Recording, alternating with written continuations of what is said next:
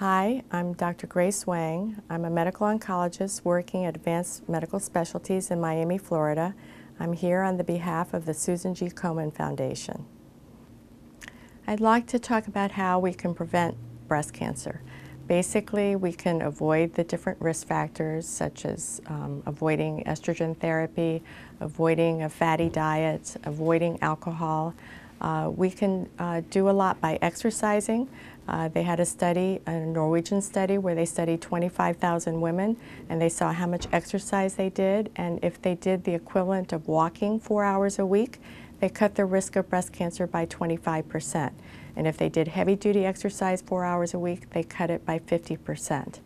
If a patient is very high risk for breast cancer, um, either by a positive genetic test or positive family history or other predisposing factors, then we can consider tamoxifen or raloxifene, which are anti-estrogens, which help reduce the risk of breast cancer by 50 percent.